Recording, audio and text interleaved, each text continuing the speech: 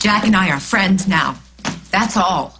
Kind of a friend chases a guy across country after he's abandoned his wife. I didn't chase anybody. I was trying to get him to come home. And then, just as friends, of course, you managed to spend the night in a motel room in Pittsburgh with him. You were there?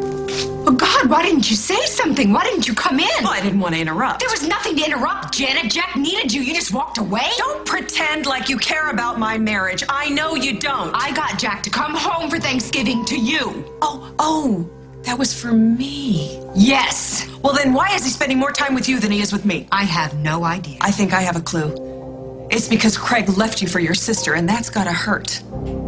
That has nothing to do with it. And let's be honest. It's much better to turn to another man, right? Even if he is taken. I am not trying to take Jack from you. I waited a long time to meet a guy like Jack. But you, you change men like you change your clothes, and heaven knows you never have an empty closet. I have a meeting to go to.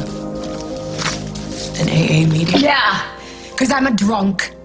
And you're not. Another reason you're a much better wife for Jack than I ever was.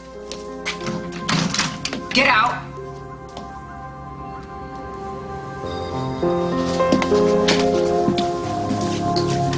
Carly. Save it! I'm not gonna give Jack any more messages from you. You wanna talk to your husband, give him a call.